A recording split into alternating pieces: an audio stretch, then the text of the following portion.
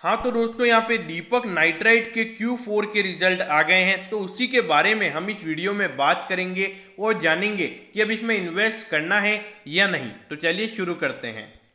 तो देखिए, सबसे पहले यहाँ पर अगर हम डिविडेंड की बात करेंगे तो फोर पॉइंट फाइव रुपीज़ का डिविडेंड यहाँ पे कंपनी ने रिकमेंड किया है। मतलब अगर आपके पास दस शेयर हैं तो आपको फोर्टी फाइव रुपीज़ का डिविडेंड मिलेगा।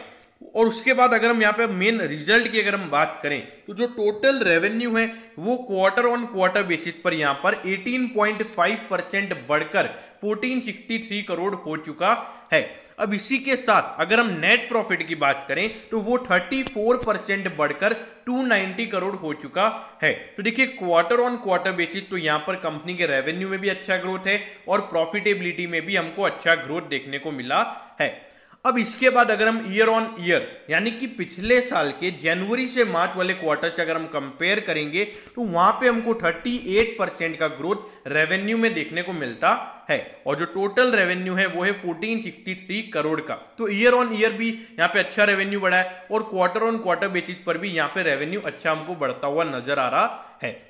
अब एट दी एंड अगर हम नेट प्रॉफिट की बात करेंगे तो यहाँ पे ईयर ऑन ईयर बेसिस पे जो टोटल नेट प्रॉफिट है, वो 68 परसेंट वाई वाई बढ़कर 290 करोड़ हो चुका है। अब 68 परसेंट यानी मतलब पिछले साल अगर कंपनी ने सौ रुपए कमाए थे तो वो सीधा 168 हो गए। मतलब सौ रुपये पे सिक्सटी एट रुपीज़ ज़्यादा यहाँ पे कंपनी की प्रॉफिटेबिलिटी हो गई है। तो यहाँ पे अगर आप देखोगे तो ईयर ऑन ईयर बेसिस पर बहुत ही अच्छा ग्रोथ देखने को मिल रहा है और क्वार्टर ऑन क्वार्टर बेसिस भी यहाँ पे कंपनी के रिज़ल्ट अच्छे हैं। तो जो शेयर होल्डर्स के लिए जो इतने टाइम से जो शेयर रैली हो रहा था तो वो यहाँ पे कंपनी ने पूरा साबित करके दिखाया है। अब ये देखिए 26,064 करोड़ का मार्केट कैप और कंपनी में फुल पोटेंशियल है कि वो यहाँ पर एक तरीके से लार्ज कैप कंपनी बन सकती है यानी कि 35,000 करोड़ का मार्केट कैप इस कंपनी का हो सकता है।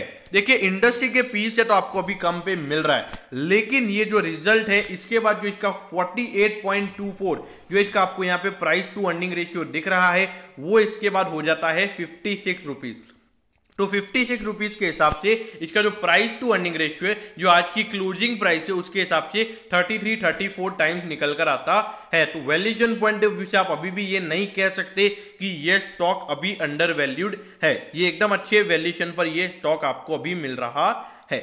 अब ये देखिए ग्रोथ पे नज़र डालिए। पिछले चार साल से आप देखिए एक्सपोनेंशियल ग्रोथ आपको रेवेन्यू में देखने को मिल रही है। 18 के बाद अगर आप देखोगे तो यहाँ पे सीधा अगर आप देखोगे ऑलमोस्ट डबल मतलब अराउंड 80 परसेंट का ग्रोथ रेवेन्यू में देखने को मिला है। फिर वहाँ से फिर से 70 80 परसेंट का ग्रोथ हमको रेवेन्यू में देखने को मिला है। और ऐसे ही हमको यहाँ पे प्रॉफिटेबिलिटी में भी होता हुआ नज़र आ रहा है। तो यहाँ पे देखिए एक्सपोनेंशियल ग्रोथ अगर कंपनी दिखाएगी तो सीधी सी बात है कि वो आपको महँगे वैल्यूशन पे तो ट्रेड होगी होगी और उसमें अच्छी खासी रैली भी आपको देखने को मिलेगी।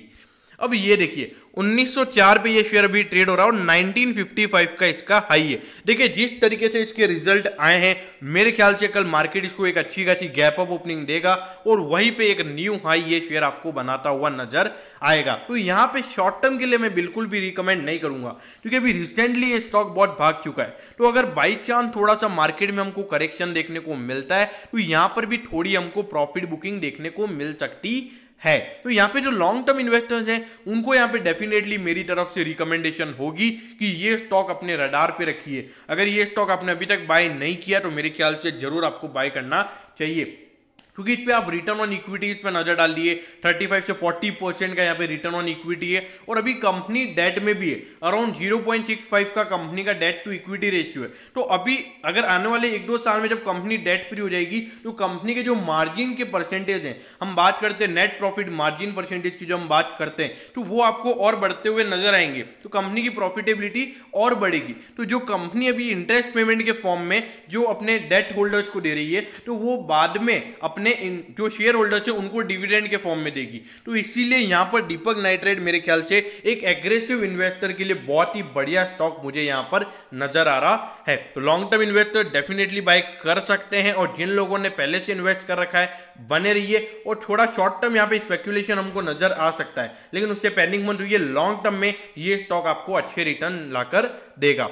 ओके दोस्तों तो मैं होप करता हूँ कि आपको दीपक नाइट्राइट के Q4 के रिज़ल्ट के बारे में सब कुछ पता चल गया होगा। अगर आपकी कोई भी क्वेरीज हैं, आप कमेंट कीजिए, मैं ज़रूर आपके कमेंट पर रिप्लाई करूँगा। ओके दोस्तों thank you have a nice day